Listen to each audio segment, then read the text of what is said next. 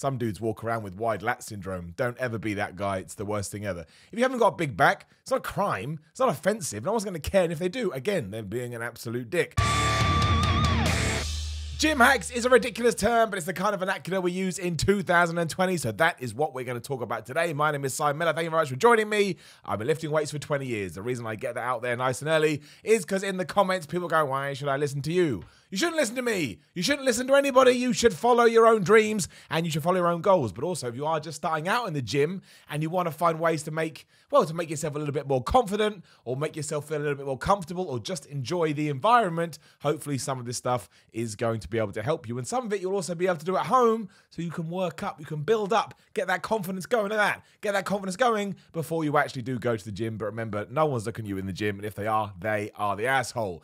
Uh, please do hit the subscribe button. If you're brand new to the channel, I always appreciate it. And please do hit that big thumb, the like, long as you do like the video, it's important that we're being honest with each other because YouTube loves that stuff. But let's just do it. Here's 10 gym hacks your ass needs to know. Number 10, utilize pull ups and push ups. Right, so this is for the people that are working their way up to actually going to a fitness center. Don't know why I said like that because I'm an absolute moron. But do, even if you are going to the gym, you should absolutely be doing push ups and definitely, definitely, definitely you should be doing pull ups. Have you ever seen somebody with a big V taper, you know, a big wide back? Some dudes walk around with wide lats syndrome. Don't ever be that guy. It's the worst thing ever. If you haven't got a big back, it's not a crime. It's not offensive. No one's going to care. And if they do, again, they're being an absolute dick. Yeah, if you ever see anybody with that, they are absolutely 100% doing pull ups. And pull ups are incredible too, because don't forget, where you place your hands on the bar is going to affect your back so much. You do overhand grip, you can do underhand grip, you can do wide, you can do close.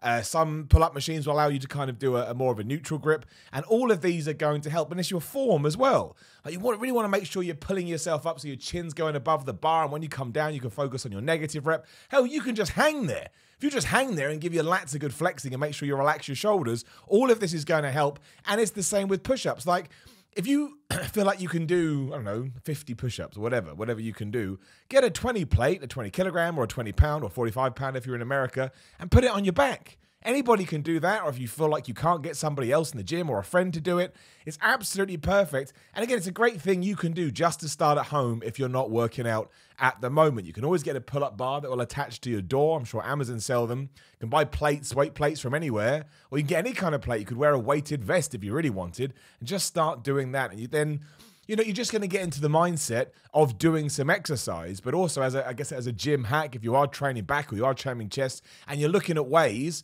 to finish off those muscles, yeah, do some crazy pull-ups, maybe at the start or at the end to really finish things off and do those press-ups. Like do those press-ups. You're dead, you're fatigued, you're feeling awful. Just do three sets of that with some uh, with some weightage on your back and kapow, you've just taken one step closer to immortality. Not true, we're all gonna die. Didn't mean to bring the mood down. Number nine comes in the form of dips, which kind of ties into press ups and pull ups, but I'd argue they're less important. But the biggest problem with any gym, right, or at least any gym I've ever gone to, is most only have one dipping station, which sounds like somewhere you should get donuts, but it's not. And that drives you nuts because every gym these days are oversubscribed. So you go to do dips, like, I can't because that jackass is there. You can always do them on a on a bench, you know, and you put your hands down and you can put your foot on another bench. But a much better way to do it, and I know we're kind of stepping into gym etiquette rules here, but as long as you're working and training hard, who cares? I'd respect somebody doing that. You can go into a squat right, a squat rack, right? As long as you've got the the um, sort of sidebars in the right place. You can get two barbells. I'll find a picture. Somebody will have this online. Loads of people do it.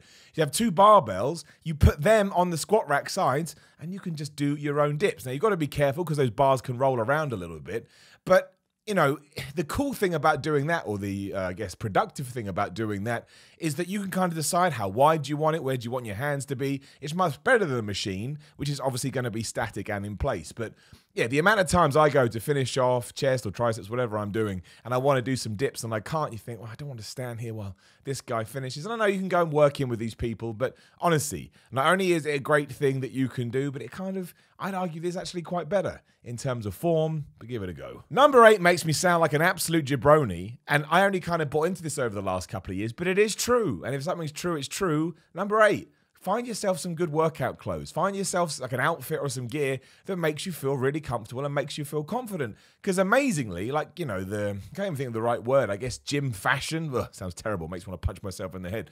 But gym fashion has got way popular over the last five, ten years. You know, every big brand is doing it. But it is true if you find a vest or a top or some leggings some trousers or some jogging bottoms, whatever it is, that you really enjoy working out is, not only do you look forward to it, because it's nice to wear nice clothes, but because it makes you feel good when you're in the gym, a, pos- a positive approach and a positive atmosphere will mean that you have a better workout. Now, I know some of this stuff is way expensive, so maybe pick and choose as and when. But I started doing it, like I say, over the last 24 months or so, and it does work. Sometimes I'm such an asshole. I look at clothes and go, oh, I'll wear this one today. And you know, what are you doing?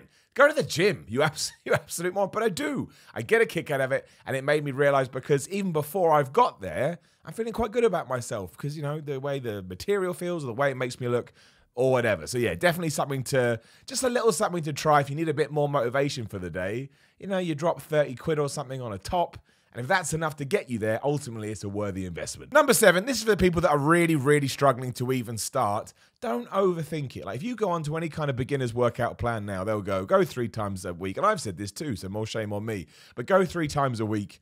Uh, do circuit training. Make sure you get your rest. Make sure you get your food. And you're like, it's all too much for me, man. Like for the last, you know, five years, I just sat on my couch and watched TV, and now you're asking me to do all this stuff. I don't want to do it. Then don't do that.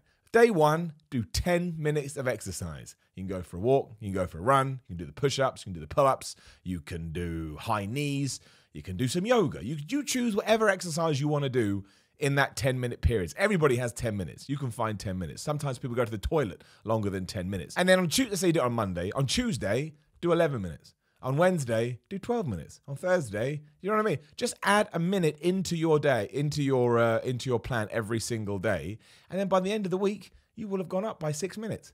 And if you keep doing that, eventually you're going to be doing hour long workouts. And maybe because then you feel like you are in a tiny bit better shape, or you're used to the exercises, or you don't feel so, maybe you're just more comfortable with sweating and being out of breath, which is something that people get anxious about. Then maybe you can take the next step and go to the gym. But we're going to kind of touch upon this in a couple, so I won't say too much more and we'll come back to it then.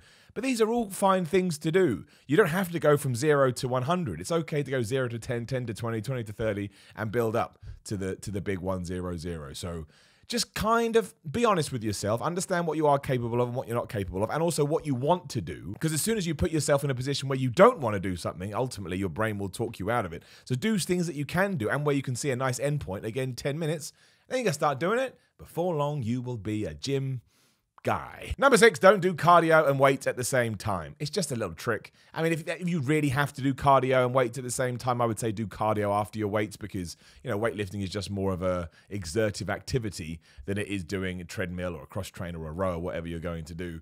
But if you can, I'm talking about gym hacks here, right? So you want to get the most out of your fitness experience. If you can divide them up. Now, it is hard because we only have a set amount of time in the day, but that is the ideal way to do it. It's, it, it really, really is true. And there's scientific stuff you can go out there and read. If you can have a dedicated time for your cardio and a different dedicated time for your weights, that's really where you're going to be at your optimum. That's where you're going to be at your premium. And just throwing it out there. There's not really much else to say, but a fact is a fact. Number five, drink a ton of water. Now, this is the easiest one in the world because my tap is there. You know what I mean? It takes me 32 seconds to go and get a drink of water. But much like everything else we said here, just double the amount you're drinking, then triple it, then quadruple it. Don't go too crazy because obviously you can drink too much water. But most people walk around dehydrated without even realizing it. And if you do up your intake of water, I mean, so many things. You're going to feel better. You're going to feel less tired. Your skin's going to be better. Hair will be better. You know, if you've got spots, they may help those clear things up. You just feel good. You just feel good by drinking more water. And it's so simple. I know there are some people out there, and look, I love all of you, but I think you're crazy. They go, I don't like water. You are water. A human being is basically just water. We're just flopping around like jellyfish. Some people say, I can only drink juice. It's not true. Your body can absolutely drink water. And if you want to drink juice, fine, but just accept it's got a load of calories and carbohydrates in it, and you're going to have to deal with that, or sugars, I should say. But just have an extra glass of water today. And again, then tomorrow have two extra glasses of water. And I don't, don't, you may already be drinking enough. I'm talking to the people that aren't, of course.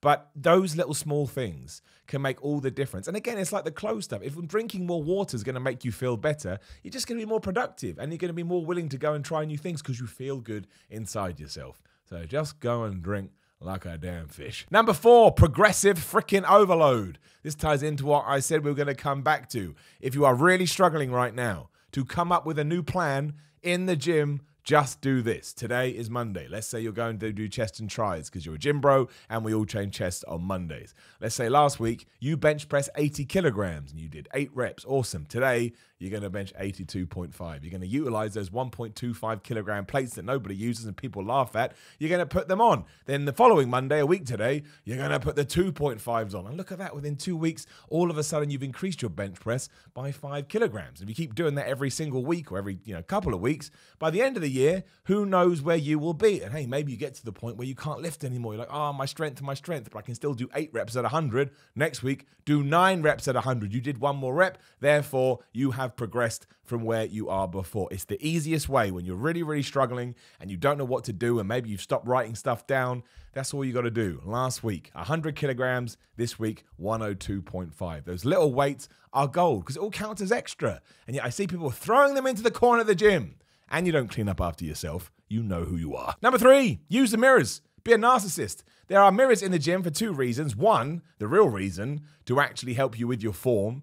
So if you're doing bicep curls or whatever, you can watch it and make sure that you see that muscle contracting and all of that.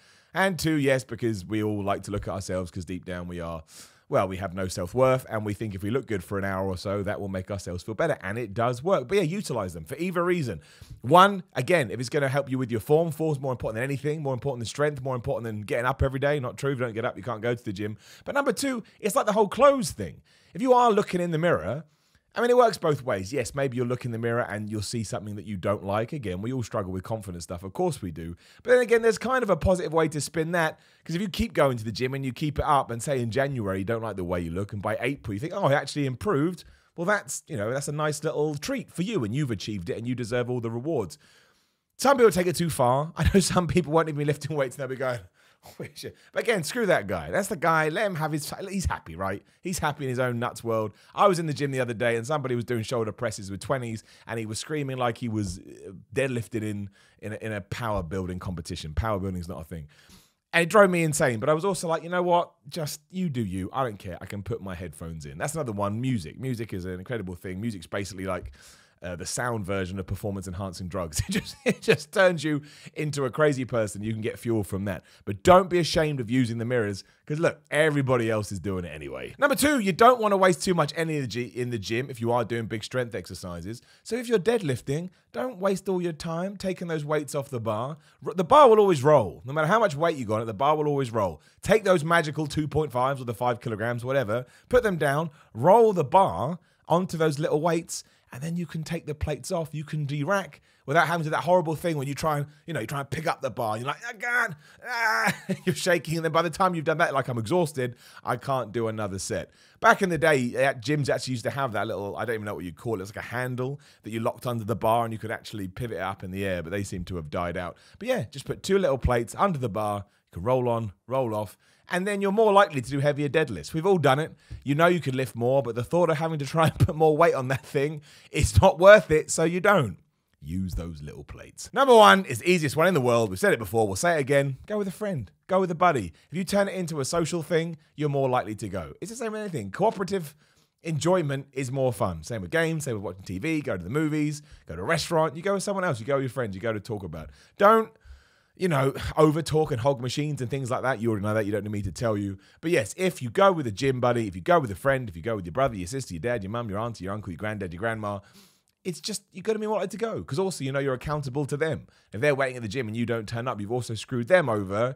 And also, if you look forward to seeing them, but you're not looking forward to the gym, at least you're looking forward to them. So there's your positive. It's the easiest gym hack in the world. And that is that. That is all my gym hacks for you. I'll have more fitness videos this week. But again, if there's anything you want me to talk about specifically, drop it in the comments below. I only have so many ideas, and it's good to crowdsource these things. Otherwise, I will lose my mind. Again, please do subscribe, like the video, share the video. I have a Patreon, patreon.com forward slash SimonMiller316. And I use that money to free up my time because I'm a freelancer by trade to make crazy videos like this. Either way, thanks for watching. See you soon.